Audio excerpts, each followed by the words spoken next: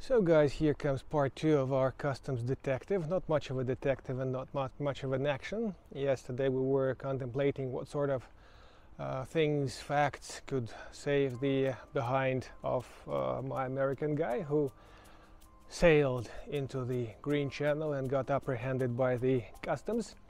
Well, today the judge was kind of listening to his uh, points to present and he, uh, his argumentation uh, the guy wasn't super talkative, but generally we presented the, um, the general points, the main things that we wanted to.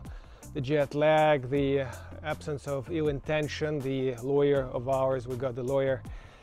The uh, lawyer was asking for uh, lifting the penalty and limiting it only to uh, written uh, written notice, written warning and uh, no fine, but we got 20 base units of a fine and uh, the gap over 10,000 was confiscated for the benefit of the state. So the hospitals, the schools, the kindergartens will be improved for this money, so that's kind of good news. And, uh, and that's about it.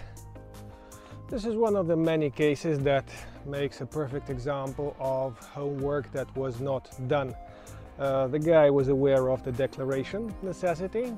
He probably didn't look into the depth of the process, somehow ignored the red channel or anything. I'm not sure what I would have done if I had uh, been there at 2.30 in the morning. We saw the chest camera, everything was quite kind of sweet, polite, and he openly said that he had over $10,000, so this all was unpacked unearthed, counted and basically processed. The customs digested the money and taking it out of the alligator's mouth is tricky. You know that from the National Geographic movies. So as talented and sweet as we are, unfortunately today we kind of lost. Although statistically we said that uh, we warned the client that 99% such cases resulted in the loss of the money. So another such case is coming with uh, the cap over 10,000 being 30,000. I guess the guy is gonna be keen to present his position as well to get me and the lawyer into the courtroom.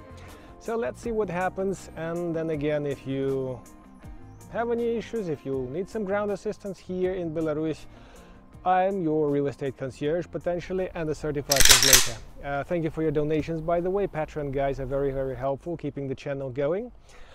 Cheers from Minsk, see you later.